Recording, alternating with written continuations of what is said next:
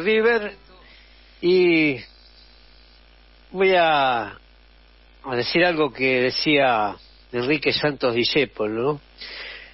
Eh, ¿Qué sería del club sin, el hincha? Decía Discepolín, una bolsa vacía. El hincha es el que te da sin, sin pedir nada, ¿no? Es lo que hablábamos recién un poquito con, con Daniel. Y tenemos en línea eso. Ah, hoy dijimos, vamos a hablar con, con un hincha. Eh, te saludo a Eduardo Bertierre, Roberto Alonso desde el Ángel de River, junto a Daniel Galazo y Florencia Reiman. Eh, te damos la, la bienvenida a nuestro espacio. ¿Cómo estás? Buenas noches, ¿cómo les va? Un saludo para todos y gracias por el llamado. Bien, bien, estoy bien, bien, bien. Esperando ansioso el partido de mañana, aunque no sea demasiado importante, pero River siempre es River. ¿Cómo andan ustedes? Nosotros bien, y bueno, yo me, me atreví a contactarme contigo a raíz de, bueno, de lo que vos escribís en una publicaciones de Facebook, Club Atlético Sí. River Play, y eh, leí dos de, de, de- de tus este de tus escritos, uno relacionado a, a- con, con eso, ¿no? Con el hincha, Ajá. eh, a, a tus más de 1500 presencias eh, siguiéndolo a River, con, como Sí. todos nosotros, nosotros este junto con Daniel eh, tenemos también una ya una carrera bastante importante por los años siguiendo a, a nuestro querido y amado River Plate. Me, me, me gustaron tus palabras, este, eso de, de, de que el hincha te, te sigue eh, con, con lluvia, con calor, con frío, eh, llueva, Sí, truene, vaya bien, vaya mal. Bueno, contanos un poquito cuál es la, la experiencia de ese hincha. Y bueno, con la fe de siempre, ¿no? Porque viste que hay veces que las cosas no salen bien y uno a pesar de todo siempre la fe la tiene, la mantiene intacta. Eh, yo voy a la cancha desde el año 75, desde el primer partido contra Estudiantes de La Plata en la cancha de River, por el, la primera fecha del torneo, creo que fue el Metropolitano, el primero que ganamos. Este, bueno, a partir Sí, sí, de ahí no dejé, claro, no dejé de ir nunca, no dejé ir nunca a la cancha, qué sé yo, salvo alguna, alguna vez, algún día por enfermedad, o a veces, bueno, a veces costaba juntar el, juntar el manguito para la entrada, ¿no? Yo siempre iba de recorrida a la casa de mi abuela, pasaba por lo de mi hermana, pasaba, pasaba por el bolsillo de mi mamá también para, viste, para rescatar unos mangos para el viaje y la entrada. Yo en ese momento iba, iba al secundario. Este, y bueno, así es la historia, así comenzó y, y bueno, es este idilio, este amor que tengo profundo por River desde aquel tiempo, ¿no? Vos sabés que voy a contar la historia particular, una historia muy muy distinta de yo muy rara, ¿no? Porque yo arranqué, yo nací hincha de Racing, mi papá un fanático furioso hincha de Racing, que me llevaba al cilindro hasta los seis años, me llevó al cilindro. Mi mamá me tejía los mitones, las bufandas eh, y, y, y el gorrito de lana de Racing, celeste y blanco. Este, un día mi papá me llevó al Monumental a ver un partido visitante, es decir, porque mi papá me llevaba a todos lados, a todas las canchas, fui como hincha de Racing, hasta los seis años. Este, y fui al Monumental en el año 65, 1965 me llevó a la que hoy es la tribuna Centenario, que la- en ese momento era la tribuna visitante. Y, y bueno, mm, mientras me dejó paradito ahí en la vereda, mientras acá, viste que se sacaba la entrada, eh, en lo que es en la entrada principal, las boleterías que estaban en la entrada principal, ahí a la izquierda, eh, al lado donde está ahora atención a socios, ahí estaba bien las boleterías que estaban, ahí en esa esquinita estaban las boleterías. Y me dejó paradito, yo tenía seis años, me dejó paradito ahí en la vereda, este y bueno, mientras lo esperaba sacar la entrada, de seis años, mientras esperaba sacar la entrada, entré a mirar para, arri- a- para arriba, empecé a mirar para arriba y realmente no terminaba más.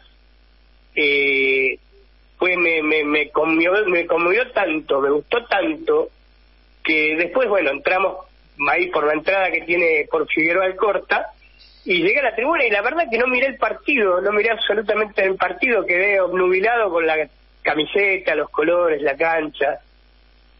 Y así fue. así fue que me hice hincha de River. Y en el año 68, estoy hablando del año 65, en el año 68 mi papá me llevó por primera vez como hincha de River un Quilmes 3, River 3, Quilmes 3. Fue la primera vez que fui a la cancha como hincha de River. Este, y bueno, después la anécdota que tengo en el año 72. No sé si me están escuchando, sí, ¿no? Sí, sí, sí, perfectamente. Perfecto. Eh, en el año 72 yo tenía 13 años, todavía, viste, no había ido casi, no era un nacido concurrente a la cancha. Eh, jugaba el 15 de octubre de 1972 se jugaba el superclásico. River Boca era el día de la madre. Boca River en realidad, cancha de Vélez. Cancha de Vélez. 5 a 4. Eh, yo era ¿Cómo? El 5 a 4. 4. Sí, correcto, correcto. Bueno, yo era chico, a mí me, la verdad fue un día de la madre, viste esos días de la madre que uno se lo dedica realmente a, a comer, a estar ahí en familia. Bueno, vino un vecino, un vecino de abajo, un de boca, este, que me invitó a la cancha, me invitó a ver el superclásico. No, de movida le dije que no, honestamente, de movida de entrada le dije que no, porque me parecía que dejar a mi mamá en el Día de la Madre no era lo aconsejable mi vieja rápido se levantó y me dijo, ¿cómo no vas a ir? Es la oportunidad de tu vida, ¿cómo no vas a ir? Nunca fuiste un superclásico, que yo me, obligó, casi que me empujó a ir. Y bueno, eh, fui y este hincha de Boca me llevó a la tribuna de Boca, me llevó a la tribuna de Boca. Claro, arranca River ganando 2 a 0 y yo contento por dentro, pero tranquilo, es después se ponen ellos 4 a 2 y realmente me entró a bajar la presión, me entró a sentir mal, eh, era un día de eh, era un día de primavera medio soleado, eh, era un día así de, de qué sé yo, como ahora, 22, 23 grados, pero con sol y molesto, qué sé yo. Entonces me empecé a sentir mal, creo que me empecé a sentir mal también por el tema del resultado. Entonces me fui a mojar la cabeza. Cuando volví River se había puesto 4 a 3. Entonces, bueno, ya me quedé tranquilo. Eh, después me fui fui bajando porque entré por la parte de abajo, entonces me puse justo frente al, al, a los, al alambrado, me puse con la nariz pegada al alambrado en la parte de atrás del arco. Eh, de repente River hace el, 4 a 4. Eh, realmente ya estaba, yo la verdad, yo estaba por terminar el partido, ya estaba recontra contento y veía toda la gente que estaba enfrente, toda la gente que estaba en la tribuna de enfrente, que era maravilloso verlo. Yo la verdad odiaba estar de este lado y lo de aquel. Eh, de repente River hace el 5-4, hace el quinto morete y fue con tanta violencia que en mi imaginación tengo como que la pelota me salpica al golpear a los violines. Este, y bueno, ahí fue el delirio total de la tribuna de enfrente y yo contenido que no pude gritar, no pude gritar porque no pude gritar, la reacción que tengo es darme vuelta. Y esa reacción de tenerme, de que tuve, darme vuelta, me hizo ver que lo que vi con el tiempo, porque en el momento no me di cuenta, lo que vi con el tiempo, y el tiempo me hizo ver que es maravilloso ver a tu enemigo futbolístico, a tu peor enemigo deportivo, verlos, eh, verlo destruido, verlo sufrir. Eh, estamos hablando deportivamente, no estamos hablando, este, verlo mal, verlo este, destruido como los vi. Eso lo fui valorando con el tiempo y la verdad que me quedó un recuerdo maravilloso ese día. Realmente eso es fantástico lo que tengo, que me voy a llevar a la tumba. Creo que en algún momento escribí algo en Facebook también, porque siempre tengo el vicio de, escribir algunas cosas en, en Facebook.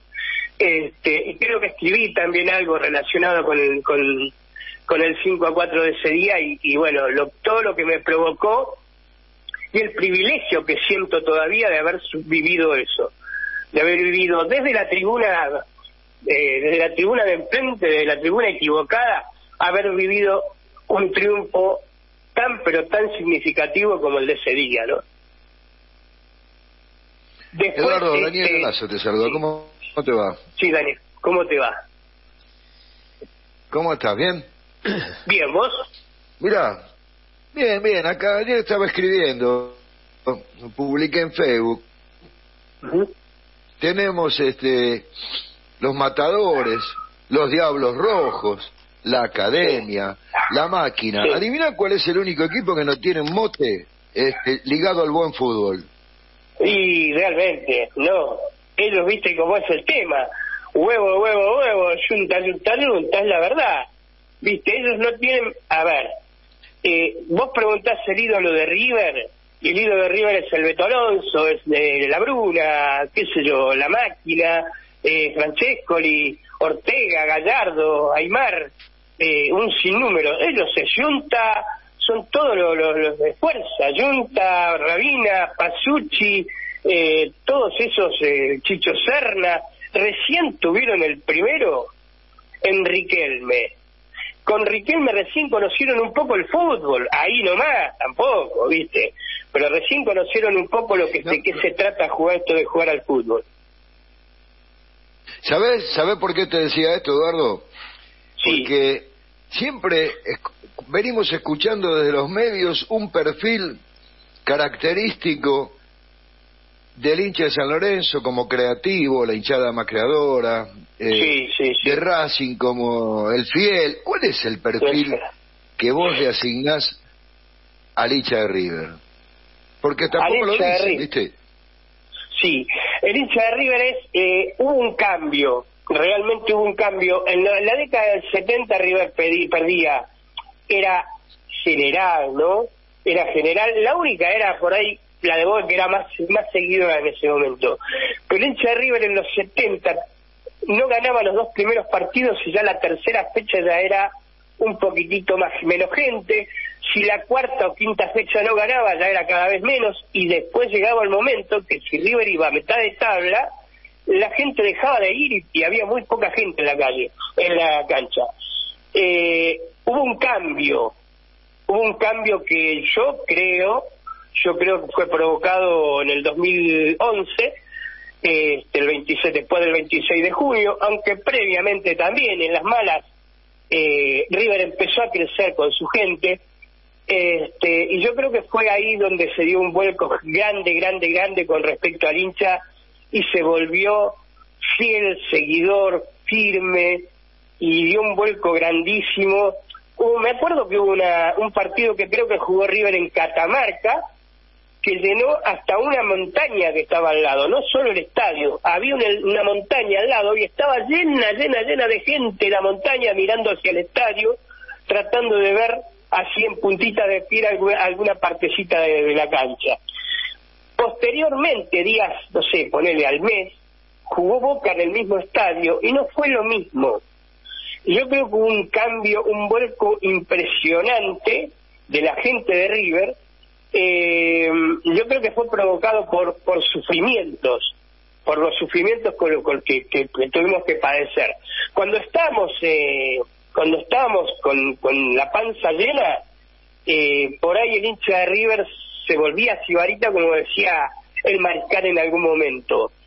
Pero después no, después empezó a, a ponerle el hombro, eh, empezó a, a ponerle voz y, grito a cada a cada a cada cada que cada cada jornada no me parece que el sufrimiento fue lo que hizo un cambio que generó un cambio importante impresionante en el hincha con respecto al, a la presencia no porque ahora hoy River llena si tuviera un estadio para 150 mil personas lo llenaría que no es lo mismo que no pasa con Boca Buenas noches, Eduardo Florencia, te hablo. ¿Cómo estás? Buenas noches, Florencia. ¿Cómo andas vos? Bien, bien, acá, escuchándote atentamente. Y bueno, nada, te quería preguntar, eh, te estaba escuchando y decía, ¿no? Eh, vos notaste un cambio, ¿no? Sí. un cambio, un cambio muy a mal o, o por ahí como un poco relativo. ¿Cómo, porque no vas a comparar esa época en, con la hinchada ahora, ¿no? Con la euforia, con el público más. ¿Cómo, cómo lo ves ahora? No, no, no, ahora es. Eh, no, no, no, no. Son cambios, son etapas de la vida de River y la de institución, institucional. Eh, River sigue siendo un club exigente, River sigue siendo, teniendo el ADN que nos caracterizó de siempre, el, ADN del buen fútbol, de, qué sé yo, del toque, la gambeta, qué sé yo. Eh, River sigue siendo lo mismo. Lo que cambió fue quizás, eh, lo que dio un vuelco grandísimo, fue quizás el haber sufrido todo eso, es como que hizo replantear al hincha la, la, la necesidad de estar al lado de River en ese momento. Y bueno, una vez que estuvo en las malas, también hay que estar en la buena. Es decir, para mí fue así. Eh, el cambio es bueno, bueno para River porque agota todas las tribunas, agota todas las entradas, no hay no hay posibilidad casi de conseguir, la gente se desespera por conseguir una entrada, pero River no deja de seguir no deja de ser eh, de seguir siendo un club exigente, exigente, un club con, con un ADN, un club con una característica y con una identidad. No dejó de ser eso. River sigue siendo igual, nada más que con su gente, su gente la, decidió apoyarla más de lo que de lo que era apoyada antes. Eduardo, te llevo al, al, plano actual, al, al, equipo actual. Nosotros en la primera media hora estuvimos este, analizándolo un poquito. Eh, nuestra premisa siempre es que River está por arriba de técnicos, jugadores, dirigentes y demás, ¿no?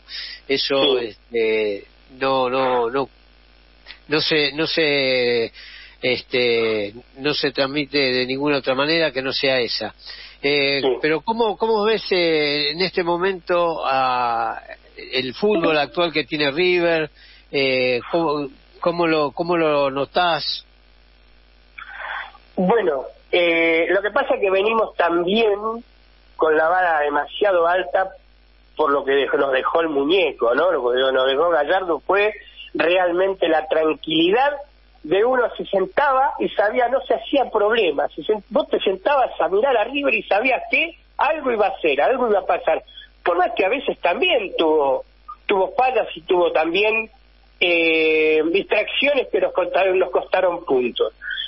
Pero bueno, de todas maneras, la espalda que traía el muñeco, la, la tranquilidad que nos dio, las alegrías que nos dio el muñeco, hacía que por ahí perdonáramos todos los errores o tratáramos de obviarlos los errores, porque sabíamos que si hoy no teníamos una alegría, la próxima vez la vamos a tener, porque sabíamos que siempre una alegría nos iba a dar. El tema de, de realmente, mira, ¿querés que te diga lo que le dije a, a alguien a quien quiero mucho? Le digo, para mí el problema de, de Michelis es que es muy, pero muy hincha de River, pero muy hincha de River, y no sabe separar el corazón de la razón, no sabe separar, es decir, a mí es demasiado temperamental con River, a mí me pasaría exactamente lo mismo, yo me cegaría y no sabría qué hacer. Eh, yo creo que es lo que le falta la templanza, la cabeza fría, como para poder decidir en los momentos adecuados qué es lo mejor que era lo que tenía el muñeco. El muñeco, viste, que usaba, craneaba y, salía algo y ganaba el partido o lo empataba por algo, por algún invento que sacaba, como fue el día del pecelazo. Eh, realmente el muñeco tenía esa cosa, la cabeza fría y tenía también al lado la persona adecuada que sabía aconsejarlo, bancarlo y, darle la templanza necesaria como para que el muñeco tomara las decisiones. Acá en este caso me parece que no solo le pasa lo mismo a De Micheli, para mí Pinola también es muy hincha de River, para mí Lux también es muy hincha de River, y no tienen la templanza, esa cabeza fría, eh, como para tomar la decisión adecuada en el momento adecuado. Entonces es por eso que se equivocan, porque, a ver, es llamativo que muchas veces erran de la misma manera, cometen el mismo error, fecha tras fecha cometen el mismo error. A mí me parece que es eh, que el, temperamento, esa, ese fanatismo por River, que creo que me pasaría a mí exactamente lo mismo, ¿eh? ese fanatismo por River no los deja ver con claridad cómo solucionar tal situación que se pueda llegar a dar en el partido. Es una opinión, quizás, no sé, yo no puedo decir que de Michelis a esta altura del partido no sepa de fútbol.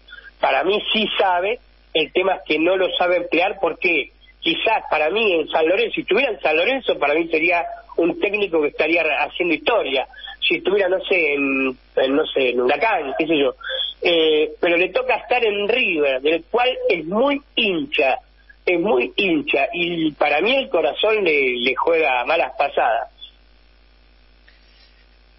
Yo te, eh, por ahí puedo coincidir contigo de que lo del corazón y la razón, ¿no? Eh, Pero yo creo que él se preparó para ser técnico, ¿no? Y un técnico tiene que saber este separar la paja del trigo, creo yo, ¿no? Sí, yo creo que yo creo que él en este momento eh, después de ese encontronazo, de ese chisporroteo que hubo con los referentes, yo creo que se siente para mí personalmente, ¿eh? no no no digo que sea así, eh, se siente en la obligación de colocar a, esos este a, esos que nos dieron prácticamente un montón de gloria junto con el, muñeco y que no sabe separar ¿eh? eso pues fíjate que el muñeco no se casaba con nadie. Si Ponce tuvo que hacer prácticamente eh, mucho tiempo antes de retirarse y lo, y y lo hizo el banco y nunca tuvo ningún tipo de problema. Yo creo que ahí es donde me parece que, que de Michelis, por ahí por lo que decís vos, es tan fanático de River que no, que no puede separar eso. Y puede ser también el tema de haberse equivocado, haber equivocado el camino, la manera de encarar eh, la relación con el grupo. Y puede ser también que el hecho de haber eh, hablado de más cuando fue aquella reunión, aquel asado con los periodistas, este, le haya jugado una mala pasa de tal manera que sienta ahora un compromiso con ciertos jugadores y que por eso no sale nunca.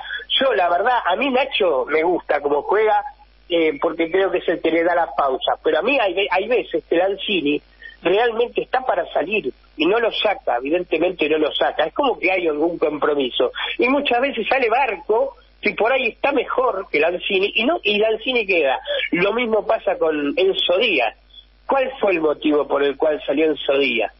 ¿Me entendés? Es decir, hay cosas, situaciones que se dan que uno no, uno desconoce, uno no entiende tampoco. Eh, por eso digo que para mí son equivocaciones eh, cometidas eh, no digo por no saber, no digo por no tener eh, manejo de grupo, sino porque realmente De Micheli fue justo técnico del equipo al que ama, al que adora, al que no lo deja ni respirar, como viste a mí me pasa también yo por River a veces no respiro viste es así uno uno se queda tenso viste cuando y bueno para mí es es el, uno de los problemas que tiene. De Michelis no sabe separar la paja del trigo como vos decís. Entonces eso hace que para mí, es la opinión de nadie, este, eso hace que cometa errores, muchísimos errores, para mí. Hay un detalle también, Eduardo, que no, para mí no, no, se debe pasar por alto. ¿eh? Es un técnico que vino sin su cuerpo técnico, valga la redundancia. ¿eh? Lo único que trajo fue el preparador físico del médico, nada más. ¿eh? También, también, también. Si es verdad que vino sin preparador físico, sin, vino sin, sin cuerpo técnico, se lo pusieron así, realmente se armó las corridas. Eh, yo no sé si Pinola es lo mejor, no sé si Lux es lo mejor para, para un tipo que realmente venía, la verdad, venía a hacer las primeras armas como de T acá y justamente de River. Eh, yo creo que a los tres les pasa exactamente lo mismo, son muy muy muy fanáticos de River, creo. Creo que ese, ese es el meollo de la cuestión, ese es el origen del, del problema.